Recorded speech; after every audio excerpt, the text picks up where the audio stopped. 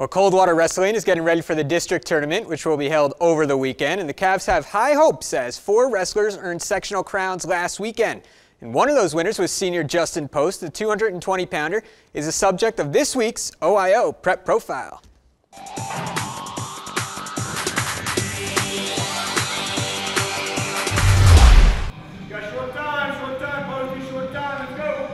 Justin Post has been wrestling since sixth grade, following his siblings' lead. I tried basketball and everything. I wasn't very good. So, and then my brother was in wrestling, so I decided to follow in his footsteps. That was a good decision. Post placed seventh last year in the state tournament, and this year's victory at sectional sets him up nicely for the next round. To win that, it really gives you a good seat at districts and just helps you to go farther in districts, and competition won't be as hard as it should be. So hard work and win for Justin Post. Justin has been nearly perfect this year, boasting a 46 1 record.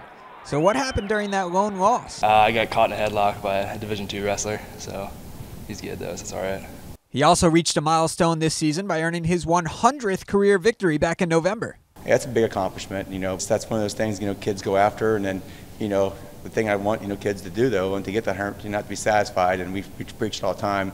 You know, never be satisfied at where you are. Always set higher goals and try to surpass somebody else ahead of you. Although his high school career on the mat is nearing its end, the senior has a lot to be proud of. All your hard work that you've been doing for the past your entire career wrestling is just paying off. So it's just a good feeling.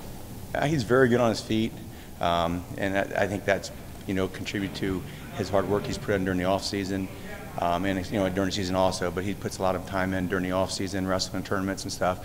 Post and the rest of the team's work ethic have fueled their success, something they hope to build on right through the state tournament. I mean, you got to work at everything you do. So it says a lot about our kids and how hard they work in the off season and during the season. Shows you what you can do if you work hard, and uh, I'm just very proud of all these kids, of all the hard work they do, and it, and it definitely shows. In Coldwater, I'm Matt Finkel with the Sports Report.